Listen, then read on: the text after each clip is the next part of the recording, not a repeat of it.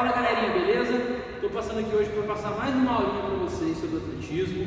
Hoje a gente vai ver uma coisa diferente. A gente estava vendo saltos, estava vendo, a gente viu corrida com obstáculo, viu salto em altura, salto em distância, e hoje a gente vai ver o arremesso de peso.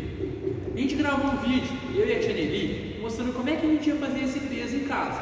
A gente fez pezinho com sacola, com umas pedrinhas. Só lembrando, quando vocês forem fazer, lembrem-se de tentar usar terra, areia, Primeiro, porque vai ficar um pouquinho mais pesado, porque a gente vai conseguir colocar mais quantidade. Segundo, que vai evitar machucar vocês e estourar a sacolinha, rasgar essa sacolinha. Beleza? Então, ó, eu estou com o pezinho que a gente fez aqui juntos, eu e Tia e agora a gente vai passar para a atividade. Primeira coisa que a gente tem que entender no arremesso de peso. O peso ele vai ser posicionado na palma da mão, na palma da nossa mão.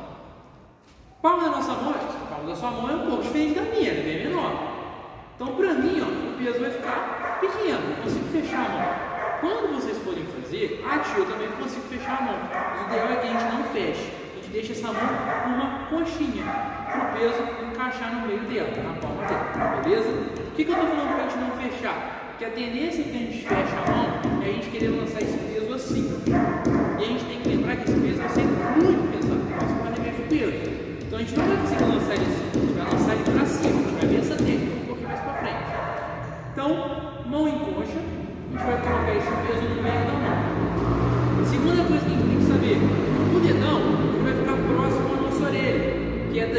partir o lançamento, daqui vai partir esse arremesso. A gente tem que tomar cuidado, muito cuidado, porque tem muita gente que, gente que coloca o dedo encostado aqui no pescoço, para baixo da orelha. E aí, se ficar fazendo esse movimento repetitivo toda hora, vai machucar a orelha. Então, posiciona o dedão próximo à orelha. Não precisa encostar, mas bem pertinho da orelha para a gente poder fazer esse movimento.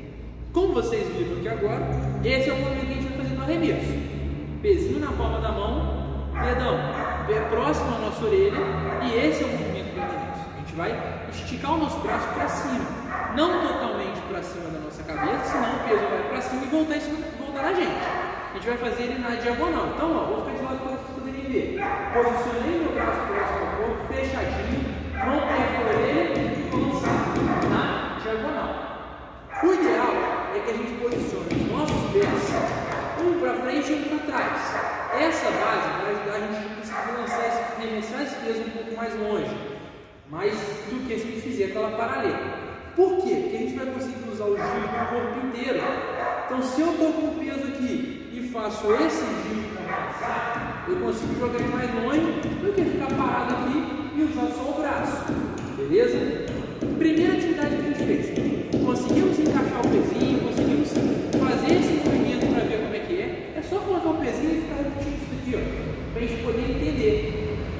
dica, tenta colocar a mão para frente, botar na posição com uma perna para frente e outra atrás, tenta colocar essa mão apontada para frente, para a gente poder dar direção para o nosso peso.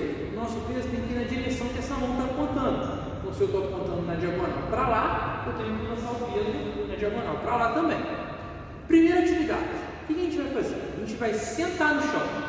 Vamos começar do mais baixo. Sentou no chão, posicionou o pezinho na mão, próximo à orelha, e a gente vai tentar lançar esse peso o mais longe possível. Vamos lembrar, não é jogar o peso. A gente não vai segurar o peso e jogar. A tinta leve dá para fazer isso. Eu sei que dá. Mas o arremesso não é assim. A gente vai posicionar do jeito correto, mesmo que a gente esteja lidando com um peso mais leve. Posicionou, vamos lembrar de manter a postura para não doer as costas. Posicionou aqui do lado da orelha e vamos fazer um movimento para não sair longe. A gente vai repetir isso. De preferência, repetindo com as duas mãos. Que a gente não vai aprender a arremessar só com uma mão. E é que a gente aprende, aprenda com as duas. Então vamos repetir isso com as duas mãos. Vai lá, pega o pezinho, volta, joga de novo, pega o pezinho Cansou? Dá uma descansada e aí depois a gente vai passar para as próximas atividades nos próximos vídeos. Valeu, galera!